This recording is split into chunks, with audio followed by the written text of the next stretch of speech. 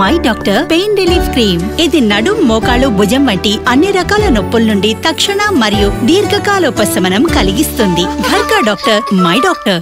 Hi welcome to NTV entertainment నేను మీ NSR ఈరోజు మన స్పెషల్ ఎడిషన్లో డైరెక్టర్ నందిని రెడ్డి గారు ఉన్నారు. ఈరోజు ఆవిడని మన షోకి ఆహ్వానించడానికి మూడు రీజన్స్ ఉన్నాయి. ఒకటి త్వరలో రిలీజ్ కాబోతున్న ఆవిడ సినిమా అన్నీ మంచి శకునములే. ఇంకోటి రీసెంట్గా జరిగిన ఆవిడ బర్త్డే. ఇంకోటి అసలు ముఖ్యమైనది మహిళా దినోత్సవం. సో ఈ మూడు విశేషాలకు సంబంధించి ఆవిడ మనతో ఏం షేర్ చేసుకోబోతున్నారు అనేది ఆవిడ మాటల్లోనే విందాం so let's welcome Nandini Reddy గారు. నమస్తే అండి. నమస్తే సార్. ఎలా ఉన్నారు? బాగున్నాను సార్. అన్నీ మంచి శకునములే.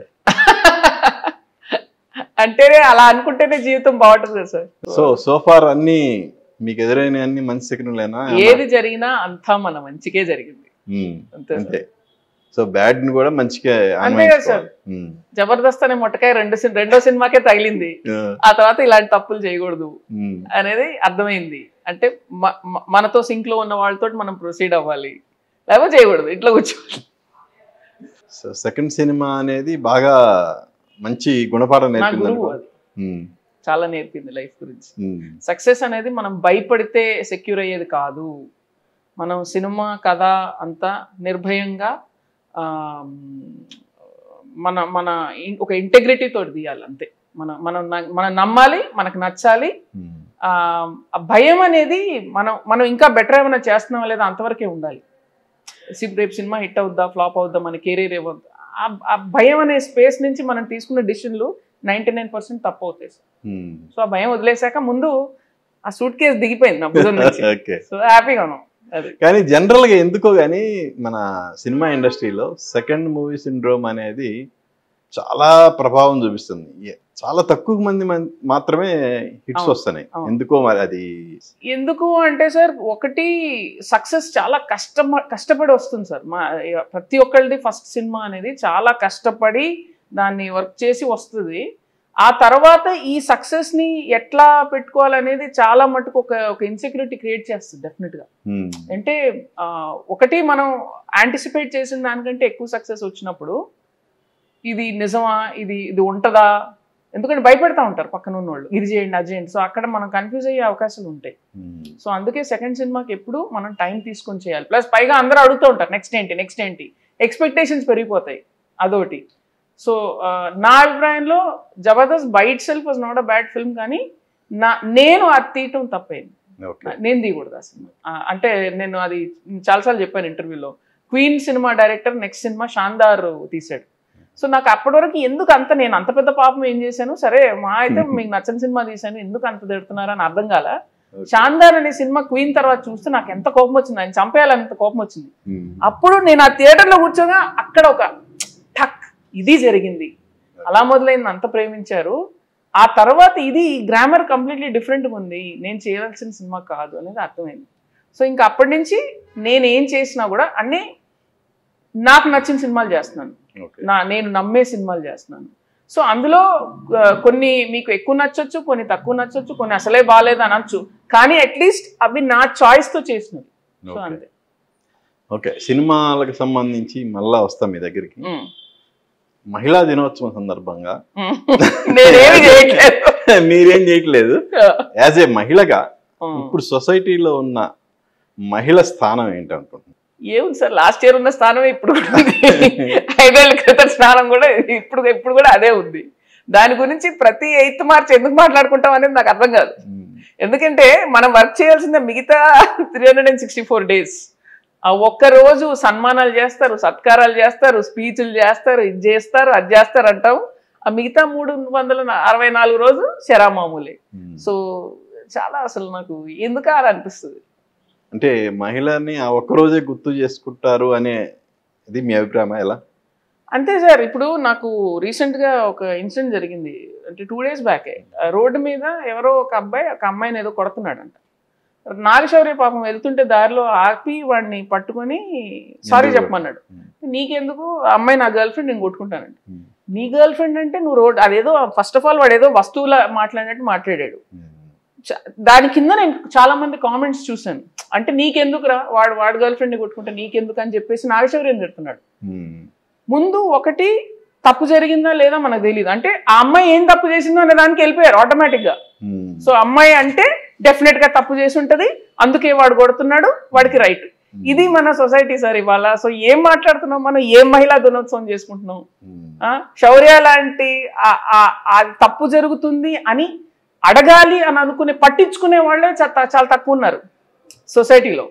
సో ఒక- ఒక తప్పు జరుగుతుంది అనేది ఒకటి నోటీస్ చేసి ఇది మనం మాట్లాడాలి అనేది ఇంకా తక్కువ. సో ఇంకా వాళ్ళకే ఇలాంటి రెస్పాన్స్ వస్తున్నప్పుడు ఇంకేం మాట్లాడుతున్నాం? తప్పు అని చెప్పడం కూడా తప్పుగానే కనపడుతుంది అంటే ఎవడైనా ఇప్పుడు రోడ్డు మీద వాడి పెళ్ళం అయితే కొట్టచ్చు. లాజిక్ ఏంటనేది నాకు అర్థం కాదు. అమ్మాయి అమ్మాయితో ఏమైనా ప్రాబ్లం ఉంటే కూర్చొని మాట్లాడుకో కొట్టడం ఏంటనేది? అండ్ పైగా రోడ్డు మీద అసలు పబ్లిక్ ప్లేస్లో అండ్ అంటే అమ్మాయి ఏం అనట్లేదంటే అమ్మాయి షాక్లో ఉండొచ్చు. అమ్మాయికి ఎలా రియాక్ట్ అవ్వాలో తెలియకపోవచ్చు. అండ్ ఆ అబ్బాయి అమ్మాయి కంటే చాలా పొడుగుగా హైట్గా వెల్ బిల్ట్గా ఉన్నాడు. ఎన్నో రీజన్స్ ఉంటాయి. మీకు తెలుసా? మీకు తెలియదు అట్లీస్ట్ కొడుతున్నప్పుడు అతను ఆపాడు అంటే అదొక అప్రిషియేట్ చేయాలి కదా సార్. హండ్రెడ్ పర్సెంట్ చేయాలి సేమ్ ఇన్సిడెంట్ నాతో జరిగింది sir. Some years back about seven eight years back ఒక న్యూ ఇయర్స్ పార్టీ నోటెల్లో జరుగుతుంటే అమ్మాయి బాగా తాగేసి అలా పడిపోయి ఉంది. ఆ అబ్బాయి కూడా తాగేసి ఉన్నాడు. చడా పడా కొట్టేస్తున్నాడు అమ్మాయిని. అందులో ఆ అమ్మాయి ఎవరు? అమ్మాయి తప్పు ఏంటి నాకు ఏమీ తెలియదు కానీ కొట్టడం తప్పు. సో నేను వెళ్ళి ఆ అబ్బాయిని ఆపాను. ఆపేసి కాలర్ పట్టుకున్నాను. ఎందుకు కొడుతున్నావు? నువ్వు ఆపు అని చెప్పి హోటల్ మేనేజ్మెంట్కి వెళ్ళి చెప్పి ఆ అమ్మాయిని ముందు క్యాబ్లో ఎక్కించి అమ్మాయిని ఇంటికైనా పంపించండి లేకుంటే సెక్యూర్ ప్లేస్ కన్నా తీసుకెళ్ళండి. నెక్స్ట్ డే ఆ అమ్మాయి మాట్లాడగలిగే కెపాసిటీలు ఉన్నప్పుడు వాళ్ళు వాళ్ళు సాల్వ్ చేసుకుంటారు. కానీ పబ్లిక్ ప్లేస్లో కొట్టడం ఏంటి సార్ అమ్మాయిని? సో ఇది క్వశ్చన్ చేయడం కూడా తప్పు అనుకునే సమాజంలో మనం మహిళా హక్కుల గురించి మహిళా దినోత్సవాలు ఎందుకు చేసుకుంటున్నాం అనేది నాకు చాలా సిద్ధిగా అనిపిస్తుంది. అంటే జనరల్గా ఎప్పటి నుంచో ఆడది అబల కాదు సబల. అనే ఒక స్టేట్మెంట్లు ఇస్తూ వస్తున్నారు కదా. సో అది ఎంతవరకు అసలు అంటే ఆ స్టేట్మెంట్ అనేది ఎంతవరకు కరెక్ట్ అండి? అది ప్రతి మహిళకి అది వాళ్ళు ఎంతవరకు దాన్ని నమ్ముతారు అనేది దాన్ని బట్టి ఉంటుంది సార్. ఇప్పుడు మీరు అవును నేను అబలని నాకెవడో నన్ను కాపాడలేదు అని చెప్తే ఇంకా అది నీ కర్మ. ఇంకా నువ్వు అలాగే ఉంటుంది లైఫ్ లేదు నన్ను ఐఎమ్ మై ఓన్ సేవియర్ నాకు ఎవడేం అవసరం లేదు నేను చూసుకోగలను నా కాళ్ళ మీద నేను నిలబడతానని నువ్వు నమ్మితే నీ స్టేట్మెంట్ మాది మారిపోయింది. ఆ నిజం మారిపోయింది. ఇప్పుడు సమాజాన్ని మొత్తం మారడం కంటే ఒక్కళ్ళొక్కళ్ళు వాళ్ళ జీవితాలు మార్చుకోవడం బెటర్ కదా సార్. నీకు ముందు బాధ అయినా నొప్పి అయినా నువ్వు ఒక ఒక ప్రాబ్లం అయినా నువ్వు ముందు మాట్లాడడం నేర్చుకో క్వశ్చన్ చేయడం నేర్చుకో. ఇంకా అది కూడా ఎవడైనా ఏం నేర్పించలేడు. గవర్నమెంట్ ఎన్ని రూల్స్ మార్చినా ఏం చేసినా కూడా ఎన్ని సపోర్ట్ సిస్టమ్లు వచ్చినా కూడా బస్సులో ఎవడో ఈవ్టీజ్ చేశారు చాలామంది చాలా మంది అమ్మాయిలు మాట్లాడరు. ఎందుకంటే ఒక చిన్న బెనుకు ఎంబారస్మెంట్ అందరు ఏమనుకుంటారు? అంటే అమ్మాయి రేప్ జరిగిన అమ్మాయి తప్పే అమ్మాయిని ఎవడో ఏడిపించిన అమ్మాయి తప్పే అమ్మాయి ఒక డ్రెస్ వేసుకుంటే అమ్మాయి తప్పే ప్రేమ్ చేసిన అమ్మాయి తప్పే. సో ఆ తప్పు అనేది ఎవడనుకున్నాడు? వాళ్ళు అనుకుంటారు ఆ సమాజం ఇలా చూస్తుందని నువ్వు నమ్మినంత వరకు ఆ మార్పు రాదు. సో ఆ మార్పు రావాల్సింది మగవాళ్ళల్లో కంటే కూడా ముందు అమ్మాయిల్లో రావాలి. మీరు అడగండి మీరు గట్టిగా మీరు మాట్లాడండి మీరు నిలదీయండి. ఇవాళ కష్టం అయిండొచ్చు ఐదు సంవత్సరాల తర్వాత డెఫినెట్గా మారుతుంది సిచ్యువేషన్. అంతే. ఇప్పుడు మనం ప్రజెంట్ సొసైటీలో అండి లేడీస్ జెంట్స్తో పోటీపడి అన్ని రంగాల్లో రాణిస్తున్నారు. ఇంకో చెప్పాలంటే ఒక విధంగా మగవాళ్ళకంటే బెటర్గా కూడా రాణిస్తున్నారు. ఒకవైపు అలా స్ట్రాంగ్ మహిళలు ఉండంగా ఇంకొక వైపు చాలామంది ఆడవాళ్ళు మీరు అన్నట్టు పర్సంటేజ్ ఆఫ్ ఇది వాళ్ళలో ఎక్కువ ఉంది యాక్చువల్గా వాళ్ళు ఇంకా ఒక న్యూనతా భావంతో ఉన్నారు. ఈ ఎందుకని ఇంకా ఈ ఈ కాలంలో కూడా అలా ఉండటానికి రీజన్ ఏంటంటారు? అదే అన్నాను సార్. మార్పు జరుగుతుంది కానీ చాలా తక్కువ. మైన్యూట్గా జరుగుతుంది. సో ఇప్పుడు ఫర్ ఎగ్జాంపుల్ దాదాపు ఒక పది పదేళ్ళ క్రితం లేడీ పైలట్స్ కనిపించినప్పుడు నేను ఫ్లైట్ ఎక్కుతున్నప్పుడు చాలా మంది నేను కమెంట్స్ విన్నాను. అమ్మో అమ్మాయా పైలట్? అంటే లిటిల్గా ఒక ఒక సెన్స్ ఏముందంటే అమ్మాయి రోడ్డు మీద ఏదన్నా కొంచెం డ్రైవర్ తేడాగా నడిపితే డెఫినెట్గా అమ్మాయి డ్రైవ్ చేస్తుంటది ఇది ఒక యాటిట్యూడ్ ఉంది. మైండ్ సెట్ ఉంది. రెండవది సో ఆ- అమ్మాయి పైలట్ మీద కామెంట్లు నేను విన్నాను. అమ్మో ల్యాండింగ్ ఎట్లా చేస్తుందో ఏంటో. అంటే ఇంకో కో పైలట్ మేల్ ఉన్నాడా? ఇప్పుడు ఆ డిస్కషన్ రావట్లేదు. Hmm. ఎందుకంటే అంతమంది ఫీమేల్ పైలట్స్ ఉన్నారు కాబట్టి. సో ఇప్పుడు నేను వచ్చినప్పుడు ఇండస్ట్రీకి నా ఫస్ట్ సినిమా చేసినప్పటికి ఇప్పటికీ ఇంకా లేడీ డైరెక్టర్ అని పిలుస్తారు నన్ను. ఎందుకు? నా పేరు నందిని రెడ్డి. మీరు ఇందులో మహిళ అనే సెన్స్ రాదా మీకు? ఎందుకని లేడీ డైరెక్టర్ అని క్యారెక్టరైజ్ చేస్తున్నారు? ఎందుకు నా గవర్నమెంట్ నా సినిమాల మీద ఏమైనా ఫిఫ్టీ పర్సెంట్ డిస్కౌంట్ ఇస్తుందా? లేదు లేడీ డైరెక్టర్స్కి హీరోలు డెఫినెట్గా సంవత్సరానికి ఒక సినిమా చేయాలని ఏమైనా రూల్ ఉందా? నాకేమన్నా స్పెషల్ ఫెసిలిటీ ఉందా? లేదంటే జనాలందరూ ఓహో ఈ సంవత్సరానికి మనం ఒక మూడు మహిళా దర్శకుల సినిమాలు చూడాలని ఏమైనా పెట్టుకున్నారా? ఏంటి అది? సో ఆ లాంగ్వేజ్ మన భాష మన వే ఆఫ్ అడ్రస్సింగ్ థింగ్స్ అన్నిట్లో మార్పు రావాలి సార్ hmm. సో అది వచ్చినప్పుడు ఓవరాల్ మార్పు జరుగుతుంది. నేను అందుకే అంటున్నాను. ఈ ఈ మార్పు అనేది జరుగుతుంది కానీ చాలా మైన్యూట్ మైన్యూట్గా జరుగుతుంది సార్. మీరు అన్నట్టు ఇప్పుడు పైలట్స్ అనే వాళ్ళు చాలా frequent గా పెరిగారు. వేరే సినిమా ఇండస్ట్రీకి వచ్చేసరికి లేడీ డైరెక్టర్స్ శాతం అనేది ఇప్పటికీ కూడా పెరగలేదు. ఎందుకని? అదే అంటున్నా సార్. మీరు ఎంతమంది మేల్ ఇప్పుడు first of all percentage of successful male directors చూద్దాం సార్. అదే ఎక్కడో వన్ పర్సెంట్ ఉంది సార్ అంటే ఎన్నో సంవత్సరాల నుంచి మేల్ డైరెక్టర్స్ ఇంతమంది ఉండి ఒక వెయ్యో లక్ష మంది ఉంటే అందులోంచి సక్సెస్ఫుల్ ఒక ఐదు వందలో వంద మంది అనుకుందాం ఇప్పుడు ఈ పర్సంటేజ్ తక్కువ ఉంది. ఓకే సక్సెస్ ఇది ఇంత పిండి ఉంటే ఇది ఇంతే ఉంది. ఇప్పుడు ఇందులోంచి ఎంత సక్సెస్ఫుల్ రావాలి సార్ యాక్చువల్గా మీరు అది చూసుకుంటే బెటర్ పర్సెంటేజ్ ఉంటుంది మరి అంతే. Hmm. So this basic pool of talent అనేది ఎక్కువ రావాలి. ఇప్పుడు మనకంటే హిందీ కొంచెం బెటర్గా ఉన్నారు. అండ్ ఇప్పుడు వెబ్ సిరీస్ ఇవి రావటం వల్ల కొంచెం యాక్సెస్. ఈజీ అవ్వటం వల్ల ఎక్కువ మంది వస్తున్నారు. Hmm. కానీ డెఫినెట్గా రావాలి వస్తారు. Hmm. తమిళ్ళో మనకంటే బెటర్గా ఉన్నారు మళ్ళీ. అదే మన తెలుగులోనే ఎందుకో ఆ పర్సంటేజ్ అనేది బాగా తక్కువగా ఉంది. మీ మీ కాంటెంపరీ వాళ్ళని చూసుకుంటేనే నాకు తెలిసి ఒకళ్ళో ఇద్దరు కనపడుతున్నారు తప్ప ఇంకా గతంలో కొంత ఎక్కువ పర్సంటేజ్ ఉంది. ఎందుకంటే మన ఇప్పుడు విజయ నిర్మల గారు లాంటి వాళ్ళు గిన్నెస్ బుక్లో రికార్డులు క్రియేట్ చేసిన వాళ్ళు కదా. అంటే యాక్టర్స్గా ఉండి రాణించిన వాళ్ళని పక్కన పెడదాం సార్ కాసేపు.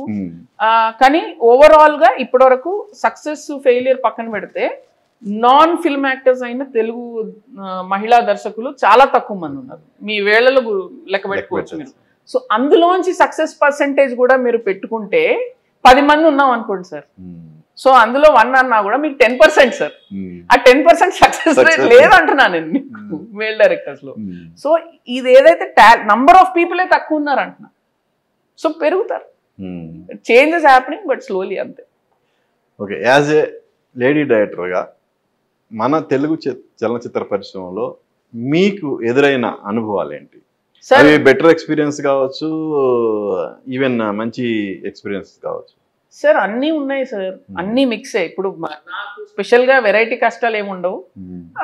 వెరైటీ కంటే కొంచెం డిఫరెంట్గా ఉంటాయి. అంటే నేను ఇప్పుడు నన్ను ఆటోమేటిక్గా స్లాట్ చేసేస్తారు. ఈ నందిని రెడ్డి గారు అంటే ఒక ఫీల్ గుడ్ ఫ్యామిలీ ఫిల్మ్స్ ఇది అది. ఇప్పుడు నేను ఏదైనా పెద్ద హీరోకి వెళ్ళి కథ చెప్పాలంటే ఓహో ఇప్పుడు ఏదో ఫ్యామిలీ సినిమా పట్టుకొచ్చిందని అంటారు. ఇప్పుడు రేపు నేను యాక్షన్ సినిమా తీసాను అనుకోండి అప్పుడు ప్రూవ్ చేయొచ్చు. ఎందుకంటే ఒక సెన్స్ ఉంది దట్ విమెన్కి యాక్షన్ తీయడం రాదు. ఆల్రెడీ అమెరి అమెరికన్ ఫిల్మ్స్లో కింద తీసేశారు. తీసేశారు యాక్షన్ సినిమాలు చేశారు మహిళలు ఆస్కర్లు గెలిచారు అన్నీ జరిగినాయి. సో చేసేంత వరకే అది barrier గా ఉంటుంది. సో ఇది ఒక అక్కడక్కడ కొన్ని మైండ్ సెట్ బ్లాక్స్ ఉంటాయి. అది నేను చెరపగలిగింది ఓన్లీ విత్ సక్సెస్ అంతే. బట్ డెఫినెట్గా సమంత గారు నాకు బే ఓ బేబీ హిట్ అయిన తర్వాత ఒక మాట చెప్పారు. నువ్వు ఒకటి గుర్తుపెట్టుకో. In your entire life you have to work twice as hard for half the credit అని చెప్పారు. అది నిజం. నేను నేను నేను డబుల్ కష్టపడితే నాకు ఫిఫ్టీ పర్సెంట్ క్రెడిటే వస్తుంది. అది ఎందుకు? నా జెండర్ వల్ల వస్తుందా? ఏంటనేది నేను క్వశ్చన్ వదిలేస్తాను. కానీ అది అది అది నిజం. అది హండ్రెడ్ పర్సెంట్ నిజం. మీరు ఇప్పుడు తెలుగు సినిమా ఇండస్ట్రీలో ఒక టాప్ టెన్ డైరెక్టర్స్ తీసుకుంటే they will not consider me as a top ten directors in that ఎందుకంటే మీరు వెళ్ళి మీరు పెద్ద హీరోలతోటి ఒక వంద కోట్ల సినిమాలు కనుక అంటే బాక్స్ ఆఫీస్ తోటి వస్తుంది అది. బాక్స్ ఆఫీస్ దానితోటి కూడా వస్తుంది డెఫినెట్గా అది జెండర్ వల్ల దేని వల్ల అనేది I don't want get in the discussion ఎందుకంటే అది నాకు ఏం కాదు. నాకు అనవసరం అది. మిగతా మంచి అనుభవాలు చేదు అనుభవాలు కష్టాలు కన్నీళ్ళు ఏ ప్రతి మేల్ డైరెక్టర్కి ఎన్ని జరిగినాయో వాళ్ళ సినిమాలు చేయడానికి నాకు అన్నీ జరిగినాయి. మే- మా- మాకు ప్రతి ఫ్రైడే ఒక యుద్ధమే. సో నా కొలీగ్స్ ఎవరు నన్ను అలా వేరుగా ఎప్పుడు చూడలేదు. అంతే మర్యాద ఇచ్చారు అంతే ఆప్యాయంగా ఉంటారు అండ్ అంతే ఫ్రెండ్లీగా ఉంటారు. ఆ, అనిల్ రావిపూడి గారు కానివ్వండి వంశీ పైడిపల్లి గారు కానివ్వండి హరీష్ శంకర్ అందరం ఒకేసారి ట్రావెల్ చేసిన వాళ్ళం. కానీ అందరూ నాతోటి నాతోటి మామూలుగానే ఉంటారు. సో అక్కడ జెండర్ బేస్డ్ డిస్క్రిమినేషన్ ఏమీ లేదు సార్ అయినా ఎవడు చేస్తున్నాడు ఎవడు చేయట్లేదు అనేది నాకు గమనించే టైం కూడా లేదు నాకు ఓపిక కూడా లేదు. ఎవడన్నా మోస్తుంటే అది వాడి సూట్ కేసు అని అనుకుంటాను. అంతే నా నా హెడ్ కాదు. Okay.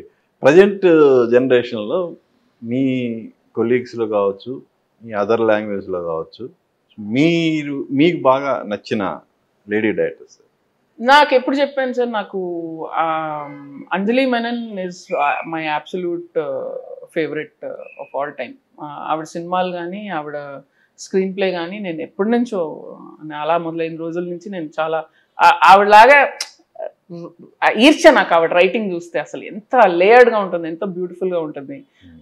Then Gauri Shinde then so many people చాలా మంది ఉన్నారు. ఆ, జో జో ఆ, జోయా అఖ్తర్ జోయా అఖ్తర్ చాలా ఇష్టం నాకు. ఫరా ఖాన్ అప్పట్లో అంటే షీ బ్రోక్ దట్ గ్లాస్ అన్నమాట. Commercial mass commercial. సినిమాలు ఆ, అమ్మాయిలు తీలేరు అంటే ఫరా ఖాన్ గారు చేశారు అప్పట్లో. So she's another fantastic Sudha Kongara who's my very good friend so Sudha is another brilliant director అలాగే మలయాళంలో కూడా చాలా కొంతమంది కొత్త కొత్త కొత్త డైరెక్టర్లు వచ్చారు. తమిళ్ళో మలయాళంలో నాకు పేర్లు గుర్తులేవు కానీ చాలా మంచి సినిమాలు తీస్తున్నారు సార్ డెఫినెట్గా and even on the OTT platforms కూడా చాలా మంది వస్తున్నారు. గుడ్ డైరెక్టర్స్ అంటే డేస్కి వెళ్తే అండి? సాయి పరంజ్పే గారి సినిమాలు నాకు చాలా ఇష్టం అండి. అప్పట్లో చాలా క్లీన్ గుడ్ ఫిల్మ్స్ వచ్చేవి సాయి పరంజ్పే గారు చేసేవి. సో అండ్ అఫ్ కోర్స్ మన భానుమతి గారు మన వాళ్ళందరూ విజయ్ నిర్మల్ గారు సావిత్రి గారు వీళ్ళందరూ were ahead of their times Bhanumathi గారు అప్పట్లో నాకు అంటే ముందు ఆవిడ యాటిట్యూడ్ అప్పుడే అసలు క్వీన్ Yeah, ఆవిడ ఆన్ స్క్రీనే కాదు ఆఫ్ స్క్రీన్ అవును. కూడా అలాగే ఉంటారు అంతే. నేను ఈ మన అన్ని మంచి శక్నంలో నేను షౌకార్ జానిక్ గారితో పనిచేశాను. ఏ వాటర్ లేడీ అండి. అసలు నిజంగా నా అదృష్టం. అలాంటి జనరేషన్లో ఉన్న ఈ ఈ మహారాణులతో పనిచేయడం అనేది నిజంగా నా అదృష్టం అండి. అంటే ఎంత స్ట్రాంగ్గా ఉంటారు ఆవిడ ఇప్పటికీ ఆవిడకి నైన్టీ టూ ఇయర్స్ ఓల్డ్ ఒక్కళ్ళే ఉంటారు. Throughout pandemic single person ఇంట్లో ఉన్నారు. ఒక పని మనిషి కూడా లేకుండా. గ్రేట్ లేడీ అంతే కాదండి. ఇప్పుడు సపోజ్ మేము ఇంటర్వ్యూకి వెళ్తే మేము ఎంతమంది వెళ్తే అంతమందికి ఆవిడ సుహస్తాలతో వండి పెడతారు. నాకు సేమ్ సేమ్. సేమ్ నాకు కూడా మాకు. షూటింగ్ చేస్తూ వండి పెట్టేవారు. అండ్ నేను అదే అంటున్నానండి. ఇప్పుడు అప్పట్లో మహిళలు అబలలు ఇప్పుడు ఏదో స్ట్రాంగ్గా ఉన్నారని కాదండి. వీళ్ళందరూ ఎగ్జాంపుల్స్ అండి. షౌకర్ గారు ఇండస్ట్రీకి వచ్చినప్పుడు ఆల్రెడీ ఆవిడ ఒక మదర్. ఎయిటీన్ ఇయర్స్కి. అప్పుడు హీరోయిన్గా స్టార్ట్ చేశారు కెరీర్ అంతకంటే ఏం ఉదాహరణలు కావాలి సార్. ఉదాహరణలు ఉంటారు సార్ ఎప్పుడు ఉన్నాయి. రాణి ఝాన్సీ నుంచి ఉన్నాయి మనకు ఉదాహరణలు. కానీ రెండు ఒకటి మహిళలు వాళ్ళకు వాళ్ళు నిలబడటం రెండు సహజం సమాజంలో ఎంతో కొంత మార్పు ఫ్యామిలీ నుంచి ఎంతో కొంత సపోర్ట్ ఇవి అన్నీ ఒక్కొక్కసారి జరిగినప్పుడు ఆ బిగ్ చేంజ్ అనేది వస్తుంది డెఫినెట్ అంటే కంపేర్ టు అదర్ లాంగ్వేజ్ వాళ్ళతో పోలిస్తే మన తెలుగు వాళ్ళు వాళ్ళ డాటర్స్ని కానీ వాళ్ళ వాళ్ళ కుటుంబం నుంచి ఒక మహిళని సినిమా ఇండస్ట్రీలోకి వెళ్ళటానికి ప్రోత్సహించే పర్సంటేజ్ చాలా తక్కువ అనేది అందరి అభిప్రాయం. మీరే సార్ ఉంటారు డెఫినెట్గా ఉండింది. కానీ ఇప్పుడు మారుతుంది. ఎందుకు అంటే ఇప్పుడు తెలుగు ఇండస్ట్రీలో జరిగిన ఒక చాలా మంచి మార్పు ఏంటంటే సెకండ్ జనరేషన్ కూతుర్లు అందరూ ప్రొడ్యూసర్లు అవుతున్నారు. దానివల్ల చాలా మార్పు వస్తుంది. మీరు ఇప్పుడు ఇప్పుడు కాదు మీరు ఒక ఫైవ్ ఇయర్స్లో మీకు ఒక అద్భుతమైన మార్పు కనపడుతుంది. మా నేను ఇప్పుడు చేస్తుంది మన దత్ గారి స్వప్న దత్ ప్రియాంక దత్ వాళ్ళు వాళ్ళు వాళ్ళు ఉండటం వల్ల ఎంత మంది మహిళలు ముందుకు వస్తున్నారు అనేది నాకు కనపడుతుంది. ఎగ్జిక్యూటివ్ ప్రొడ్యూసర్స్ అందరూ అమ్మాయిలండి. వాళ్ళ సెట్లో ఆర్ట్ డిపార్ట్మెంట్లో. అంటే శ్రీలంక కృష్ణప్రసాద్ గారి అమ్మాయి. అలాగే మన పూర్ణోదయ వాళ్ళ శ్రీజ తను ఉమ్. వస్తుంది. మన చిరంజీవి గారి కూతురు Sushmita. So so many women producer Supriya గారు ఎప్పటి నుంచో ఉన్నారు. సో డెఫినెట్గా మార్పు వస్తుంది సార్ వాళ్ళ వల్ల అట్మాస్ఫియర్ మారిపోతుంది. వాళ్ళు అంటే స్వప్న గారు దాంట్లో ఒక కాస్ట్యూమ్స్ చేసే స్టైలిస్ట్ చేసే అమ్మాయిని టాలెంట్ని గ్రహించి అమ్మాయి ఇప్పుడు గీత సీతారామం సినిమాకి ఎగ్జిక్యూటివ్ ప్రొడ్యూసర్ ఉన్న అమ్మాయి ఎంత అద్భుతంగా పనిచేసిందో మా అందరికి తెలుసు. ఆ, మా సినిమాకి విజయ్ మాస్టర్ గారి కూతురు దివ్య ఎగ్జిక్యూటివ్ ప్రొడ్యూసర్. సో గారు అమ్మాయి. సో చాలా మంది ఉన్నారు సార్. ఎంఎస్. నారాయణ గారి అమ్మాయి కూడా ఇప్పుడు పీపుల్స్ మీడియా ఫ్యాక్టరీలో. వర్క్ చేస్తున్నారు. సో వీళ్ళందరూ అంటే వాళ్ళు వాళ్ళ ముందు ఎక్కువ అమౌంట్ ఆఫ్ వర్క్ చేస్తారండి. డీటెయిల్ ఎక్కువ ఉంటుంది ఫాలో అప్స్ ఎక్కువ ఉంటాయి. అమ్మాయిలు మల్టీ టాస్కింగ్ ఎక్కువ చేయగలుగుతారు. సో డెఫినెట్గా it's going to be a change మీరు మీకు మీకు కనబడుతుంది. ఇప్పుడైతే ఈ విత్తనాలు వేశారు మీకు నెక్స్ట్ ఒక ఫోర్ ఫైవ్ ఇయర్స్లో చాలా మంచి చేంజ్ కనబడుతుంది. ముందు ఎక్కువ మంది ఫీమేల్ టెక్నీషియన్స్ వస్తే సెట్లోని వాతావరణం మారిపోతుంది సార్. ఇవి ఏదైతే సెక్షువల్ హెరాస్మెంట్ జరుగుతుంది ఇవి అవి ముందు ఒక సేఫ్ ఎన్వైరన్మెంట్ క్రియేట్ అవుతుంది హండ్రెడ్ పర్సెంట్ ఇప్పుడు గతంలో ఈ మీటు అనేది బాగా ఉద్ధృతంగా ప్రచారంలోకి వచ్చిన టైంలో ఒక సినిమా మన సినిమా ఇండస్ట్రీ తరపు నుంచి ఒక కమిటీని వేశారు. అందులో మీరు కూడా ఒక మెంబర్ కదా. సో ఆ కమిటీ ఏమి సజెస్ట్ చేసింది? దాని ఫలితాలు ఏంటి? సార్ కమిటీ చాలా మంది గ్రూప్స్ తోటి dancers group makeup artist technicians వీళ్ళందరితోటి మాట్లాడుకొని కొన్ని రూల్స్ అండ్ రెగ్యులేషన్స్ సజెస్ట్ చేశారు. Formation of certain committees within production houses plus మన ఫిల్మ్ చేంబర్ ఆర్ట్ దగ్గర కూడా కంప్లైంట్ బాక్సెస్ పెట్టారు. ఈమెయిల్ కూడా పెట్టారు కంప్లైంట్ చేయడానికి. అంటే ఫెసిలిటీస్ ఎలాంటి అంటే మీరు కనుక కంప్లైంట్ చేస్తే మీ పేరు రాకుండా ఎంక్వైరీని ముందుకు ఎలా తీసుకెళ్ళాలి? ఆ పర్సన్ని వాన్ ఎట్లా చేయాలి? ఇవ ఇవన్నీ పెట్టాం. అన్ఫార్చునేట్గా ఏంటంటే మన ఇండస్ట్రీలో ఒక చిన్న భయం ఏంటంటే నేను ఒక్కసారి కంప్లైంట్ చేశాను అనుకోండి నన్ను బ్లాక్ మార్క్ చేస్తారు. మళ్ళీ నాకు వర్క్ దొరకదు. ఎందు ఎందుకంటే మనది మొత్తం అంతా temporary job structures project to project చేసుకునే జాబ్స్ మంది సో తప్ప గవాలను ఎవడన్నా చెప్పాడు అనుకోండి పలానా అమ్మాయి ఎక్కువ కంప్లైంట్ చేస్తుంది అని చెప్తే అమ్మాయిని పెట్టుకోవడం మానేస్తారు. సో ఈ భయాలు ఎక్కువ ఉన్నాయి. సో ఒక్క కంప్లైంట్ కూడా రాలేదు? చాలా తక్కువ వచ్చేసారు అంటే మాట్లాడుతున్నారు కానీ రిటర్న్లో ఇవ్వడానికి భయపడుతున్నారు. రిటర్న్లో ఇవ్వకపోతే భయం ఏంటంటే మాకు అక్కడ చెక్ చెక్ పెట్టడానికి ఇబ్బంది. కానీ డెఫినెట్గా ఇప్పుడు విమెన్ ప్రొడ్యూసర్స్ రావడంతో విమెన్ టెక్నీషియన్ సెట్ మీదకి రావడంతో డెఫినెట్గా ఒక సేఫర్ అట్మాస్ఫియర్ అయితే క్రియేట్ అవుతుంది. అండ్ మీకు ఒక్కటి మాత్రం నేను డెఫినెట్గా చెప్పగలను. మన తెలుగు ఇండస్ట్రీలో ఉన్నంత మర్యాద సేఫ్టీ ప్రోటోకాల్స్ మీకు మిగతా ఏ ఇండస్ట్రీలో లేవు సార్ అంటే అక్రాస్ ఇండస్ట్రీస్ పనిచేసిన హీరోయిన్స్తో కూడా మాట్లాడితే తెలుగు ఇండస్ట్రీలో ఎక్కువ మర్యాద ఇస్తారు విమెన్కి రెస్పెక్ట్ ఇస్తారు బాగా చూసుకుంటారు అనేది చాలా మంది చెప్పారు. Super so coming to your career. ఎలా అసలు ఇండస్ట్రీలోకి ఎంట్రీ ఎలా వచ్చింది? అలా మొదలైంది సార్ అలా మొదలైంది. ఏమో సార్ అంత డెస్టినీ నేను ఎప్పుడు అనుకోలేదు. సినిమాకు మాకు ఫ్యామిలీకి దీనికి అసలు కనెక్షనే లేదు. ఎక్కడో జేఎన్యూలో నేను చదువుకుంటున్నాను. వచ్చాను. అప్పుడు ఏదో అడ్వర్టైజింగ్లో జాయిన్ అవుదాం అనుకున్నాను. ఏదో ఎన్నో అనుకున్నాను. డాక్టర్ అనుకున్నాను ఆ తర్వాత సివిల్స్ అనుకున్నాను అన్ని అనుకున్నాను. నా నా జీవితంలో అన్ని ఇది చేద్దాం అనుకున్న అనుకోవడం కంటే ఇది ఇది వద్దు. ఇది వద్దు. సో నోజ్ తోటి నా దారి డిసైడ్ అయ్యింది. ఇది వద్దు ఇది వద్దు ఇది వద్దు. సో ప్రాసెస్ ఆఫ్ ఎలిమినేషన్ అనమాట కానీ అన్ని నోస్ ఉన్నాయి కదా. ఇది వద్దు ఇది వద్దు అని. బట్ ఇండస్ట్రీలోకి వచ్చి పన్నెండేళ్ళు అవుతుంది. దీన్ని మాత్రం ఎప్పుడు నో అనుకోలేదు. అనలేదు. ఎందుకంటే నేను అదే అంటున్నాను. నేను ఫస్ట్ నేను ఇండస్ట్రీలోకి వచ్చి గంగరాజ్ గారి సినిమా చేస్తున్నప్పుడు ఆటోమేటిక్గా టపా టపా టపా కొన్ని అర్థమైపోయినాయి సార్. అంటే. ఇది మన ప్లేస్. ఒక చేపని తీసుకెళ్ళి నీళ్ళలో ఆటోమేటిక్ అనేది ఫిక్స్ అయిపోయింది. కనెక్ట్ అయిపోయింది. It this is just destiny sir. నేను అక్కడికి రావాల్సిందే. నాకు చిన్నప్పటి నుంచి సినిమాలంటే ఇష్టం. చూడటం ఇష్టం కానీ ఎప్పుడు నేను దాంట్లో ఒక టెక్నీషియన్గా జాయిన్ అవుతానని అనుకోలే. సో కొన్ని నిజంగా తప్పమని అర్థమైపోయినాయి. అప్పుడు మా అమ్మ వచ్చి గంగరాజు గారిని అడిగింది. కాదండి అమ్మాయి పోస్ట్ గ్రాడ్యుయేట్ వచ్చి మరి ఇప్పుడు అడుగుతుంది ఇట్లా సినిమా అంటుంది ఏంటి ఫ్యూచర్ ఉందంటారా? నా మాకేం తెలియదు ఇండస్ట్రీ గురించి. అంటే లేదమ్మా డెఫినెట్గా తనకు మంచి ఫ్యూచర్ ఉందని గంగరాజు గారు చెప్పారు. నాకు నేను వచ్చిన టైంకి అసలు అమ్మాయిలు లేరు మహిళలు లేరు టెక్నీషియన్స్ లేరు ఇవన్నీ ఏం తెలియదు సార్. సో అందరు చాలా ధైర్యం చేశారు మీరంటే. తెలియకుండా చేసిన ధైర్యం అప్పుడు. అప్పుడు చెప్పుంటే భయపడేదాన్నేమో తెలీదు. ఓకే. బట్ ఇదే వచ్చు సార్ నాకు ఇంకా Hmm. ఇంకేమి రాదు. Hmm. So so little soldiers to ఇప్పుడు రీసెంట్గా మీరు ఫినిష్ చేసిన అన్ని మంచి సెకండ్ వరకు ఒక్కసారి వెనక్కి తిరిగి చూసుకుంటే ఏమనిపిస్తుంది? నేను వెనక్కి తిరిగి చూడటం కష్టం సార్. చూడను చూడను. But it's been a beautiful journey అంటే నాకు ఎప్పుడు ఈ జర్నీలో నేను కలిసిన వండర్ఫుల్ పీపుల్ నాకు జరిగిన వండర్ఫుల్ ఎక్స్పీరియన్సెస్ అన్ని గుర్తుకొస్తూ ఉంటాయి. ఇంక్లూడింగ్ అన్ని మంచకనంలో నాకు వచ్చిన experiences తో సహా it's been a wonderful journey నేను ఏ ఏది ఇచ్చినా మీరు ఎన్ని కోట్లు ఇచ్చినా నేను మళ్ళీ ఆ జర్నీని అలాగే వెళ్తాను.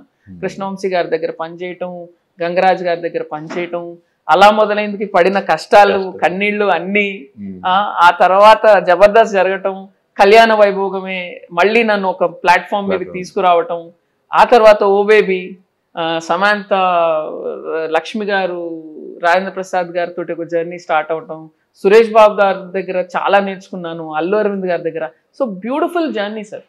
అంద- ఎక్కడో అక్కడ నాకు ఒక ఏదో ఒక ఒక ఒక ఎనర్జీ ఉంది. ఒక శ్రీరామ రక్షలాగా నన్ను అలా కాపాడుతూ అలా తీసుకెళ్ళింది నన్ను ఏదో ఒకటి. అది Hmm. నేను చెప్పలేను. అది ఏంటనేది నేను చెప్పలేను. ఉమ్, చాలా కష్టపడ్డాను సార్ డెఫినెట్గా. ఆ క్రెడిట్ నేను నాకు ఇచ్చుకుంటాను.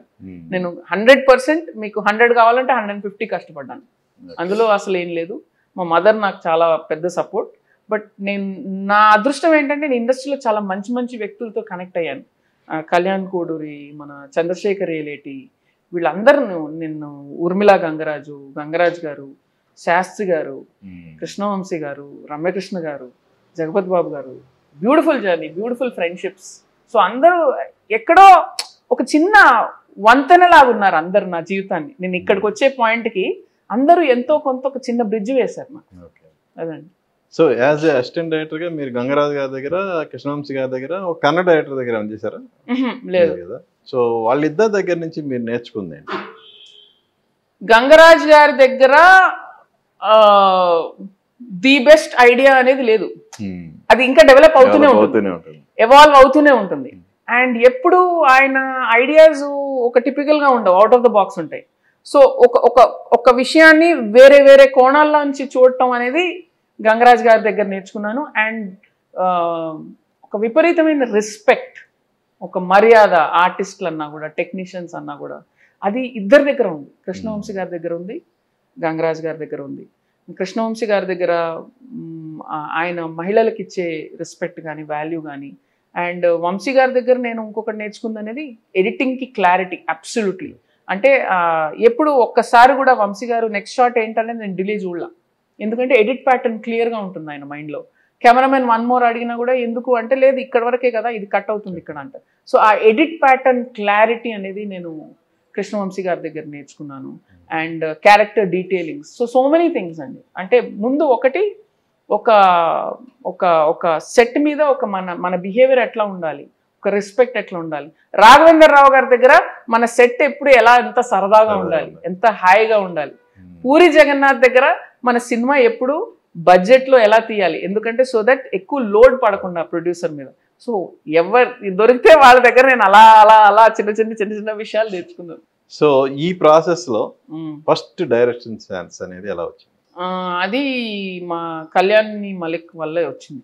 సో ఆయన నేను అంటే ఆ టైం వరకు నేను చాలా మందికి చాలా కథలు చెప్పి ఇదిగో అవుతాను అదిగో అవుతుందని నేను విసుగుపడి ఇంకా నేను అసలు ఇండస్ట్రీ పనికిరానేమో. ఇవి జరగేమో అంటే సిక్స్ ఇయర్స్ అయిపోయింది సార్ అప్పటికి ఆల్రెడీ. సో ఇంకా నేను అవసరం లేదని చెప్పేసి దుప్పటి కప్పుకొని పడుకున్నాను. అంటే కళ్యాణ్ ఒకసారి వచ్చి లేదు ఒక ప్రొడ్యూసర్ ఉన్నారు. మీ ఇంటి దగ్గరే నేను వచ్చి పికప్ చేసుకుంటాను నేను హ్యాపీ నేను కలవనన్నాను Hmm. ఎవరు అంటే లేదు లేదు ఆయన ఫాదర్ ఎప్పుడో చేశారు సినిమాలు ఆయన ఈ మధ్య చేయలేదు కానీ అంటే అందరికీ చెప్పాను ఇండస్ట్రీలో ఎవడు తీయట్లేదు ఇప్పుడు ఆయన తీస్తాడని నమ్మకం ఏంటని చెప్పి.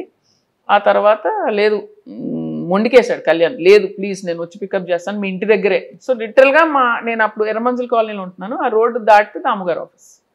సో కళ్యాణ్ వచ్చి తీసుకెళ్ళాడు. తీసుకెళ్ళి సరేలే ఇంకా ఇంకా పోయింది అని చెప్పేసి కళ్యాణ్ కోసం వెళ్ళి చెప్పాను కదా.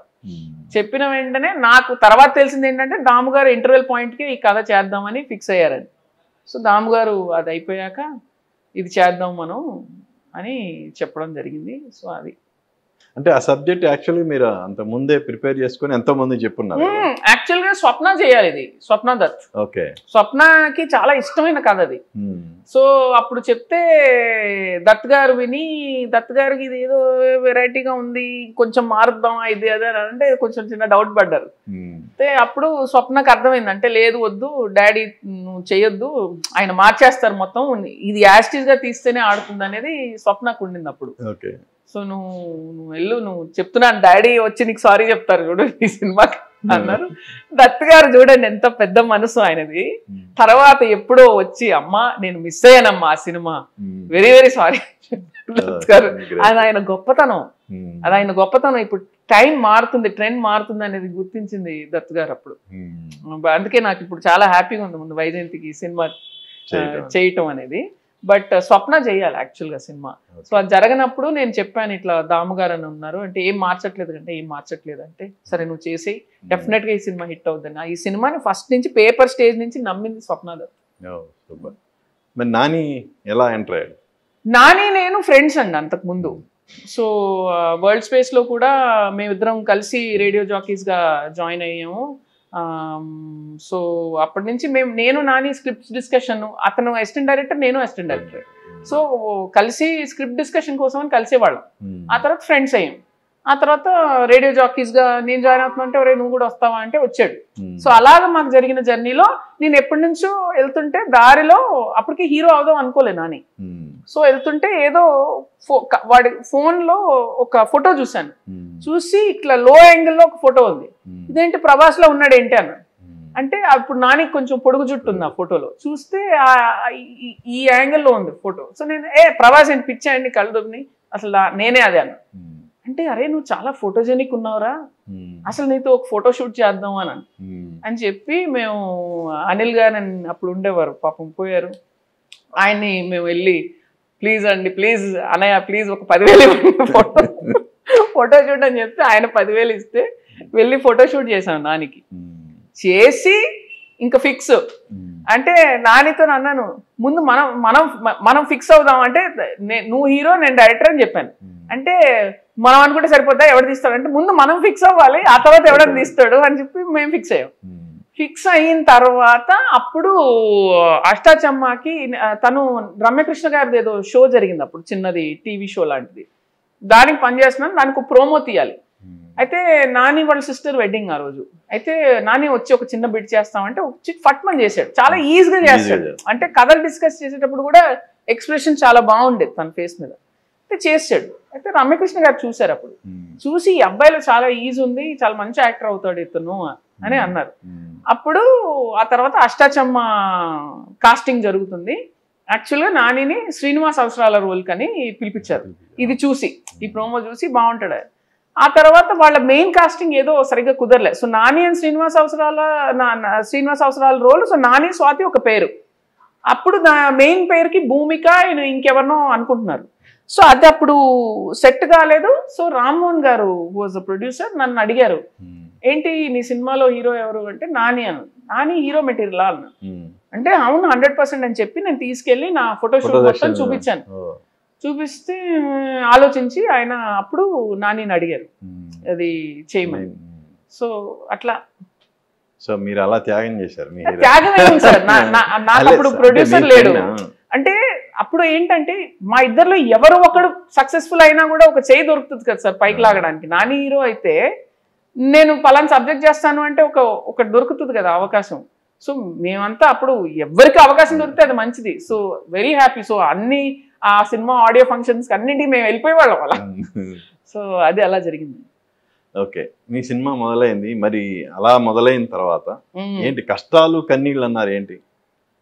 ఆ జర్నీ అంతా కష్టమే సార్. అంటే టూ ఇయర్స్ పట్టింది అలా మొదలు తీయడానికి.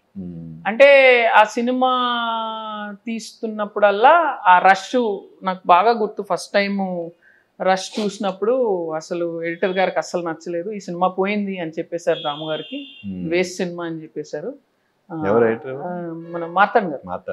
ఆయనకి అసలు నచ్చల సినిమా. ఇది అట్టర్ ట్రాష్ అని చెప్పేశారు. నాకు నాకు అసలు మార్తాండ్ గారు ఎప్పుడు ఏం చెప్పాల. ఈ. సినిమా గురించి అలా మొదలైంది గురించి నేను మార్తాండ్ గారిని ఒకసారి కూడా కలవాల. సో ఇది నాకు చెప్పిన విషయం అంతే. సో ఆయనకు అస్సలు నచ్చలేదని సినిమా ఈ సినిమా పోద్దని చెప్పారు అని. సో మార్తాండ్ గారి అసిస్టెంట్ మాధవ్ గారు ఉండేవారు నాతో ఎడిటింగ్ రూమ్లో అంతే. నేను ఎప్పుడు ఆయన ఆయనతోటి పెద్దగా ఇంటరాక్ట్ అవ్వలేదు త్రూ త్రూ ద ఫిల్మ్. కానీ ఇది బాగాలేదు సినిమా అనేదే డిస్కషన్. సో షెడ్యూల్ వన్ అలాగే షెడ్యూల్ టూ అలాగే ఏది తీసినా బాగాలేదు అప్పుడు హ్యాపీ హ్యాపీగా అని ఒక సినిమా జరుగుతుంది వరుణ్ సందేశ్ తోటి ఆఫీస్లో. సో ఆ సినిమా రష్ చూసి వచ్చి చాలా హ్యాపీగా ఫీల్ అయ్యేవారు. నాది చూసేసి ఇంకా బయటికి వెళ్ళి సిగరెట్లు కాల్చుకోవడం నాకు అంటే సెకండ్ షెడ్యూల్ వరకు నాకు ఇదే పరిస్థితి. లాస్ట్కి నిత్య వచ్చింది సెకండ్ షెడ్యూల్కి వచ్చిన తర్వాత నేను ఒక ఎడిటెడ్ రష్ చూపిస్తే అమ్మాయి చిన్న బీన్ బ్యాగ్ మీద కూర్చొని నవ్వు పడి పడి నవ్వుతుంది. అంటే ఏంటి నీకు నచ్చిందా అన్నాను. ఫస్ట్ టైం ఒక ఎవరో ఒకరు పాజిటివ్ రియాక్షన్ ఇచ్చారు నాకు షాక్ నాకు. అయితే ఏంటి ఇదే కదా నువ్వు నాకు చెప్పిన కదా బాగోకపోవడం ఏంటి సూపర్గా ఉంది అన్నాను నాకు అర్థం కాలేదు అసలు. ఎందుకంటే మీరు ఏదైనా అనుకోవచ్చు మీ సినిమా. ఇప్పుడు సినిమా అనేది ఆడియన్స్ రియాక్షన్ బట్టి నేను అద్భుతం అని అనుకున్న దాన్ని పది మంది చీ ఇదేంటంటే మీకే డౌట్ వస్తుంది. ఆ తర్వాత నెమ్మదిగా ఇది రీషూట్ అది రీషూట్ ఇది రీషూట్ అది రీషూట్ అని చెప్తే నేను ఒక రోజు ఆ నాని కుక్కతో ఉన్న సీన్ ఉంది. అది రీషూట్ చేయమన్నారు. నాకు ఎలా చేయాలి ఏం చేయాలో నాకు తెలియట్లేదు. రోహిణి గారు వచ్చారు షూటింగ్కి రోహిణి గారికి రాత్రి ఎనిమిదో తొమ్మిదో అయింది వెయిట్ చేస్తున్నాం షూట్ చేయడానికి. ఇది రీషూట్ చేయమంటున్నారంటే ఎందుకు అని చెప్పి ఆ సీన్ చూపించాను. మీరు ఒకసారి చూడండి ఇది బాగానే ఉందంటే అరే సూపర్గా ఉంది సీన్ ఏంటి ప్రాబ్లం అన్నారు. రోహిణి గారు ప్లీజ్ ఒక్కసారి వెళ్ళి చెప్పరా? అని చెప్తే అప్పుడు రోహిణి గారు వెళ్ళి చెప్పి అలాగా చాలా చాలా జరిగినాయి చాలా యుద్ధాలు జరిగినాయి ఆ సినిమా కోసం. ఓకే. ఫస్ట్ కాపీ వచ్చిన తర్వాత ఆ సినిమా షోస్ వేశారు కదా? సో ఆ షోస్లో వచ్చిన రియాక్షన్ ఫస్ట్ కాపీ కూడా కాదు సార్. మీరు ఫస్ట్ పాజిటివ్గా. చెప్పింది కళ్యాణ్ కళ్యాణి మలిక్ మన సాగర్ మహతి. సాగర్ అప్పుడు మాకు బ్యాక్గ్రౌండ్ స్కోర్కి ఇన్స్ట్రుమెంటైజేషన్ చేస్తున్నాడు. అండ్ మధుసూదన్ రెడ్డి గారు. డిటిఎస్ మధుసూదన్ రెడ్డి గారు was the first senior senior technician. లేరు ఆయన ఏం మాట్లాడుతున్నారు సార్? ఇది మంచి సినిమా అని దాము గారికి ధైర్యం ఇచ్చింది మధుసూదన్ రెడ్డి గారు. ఉమ్.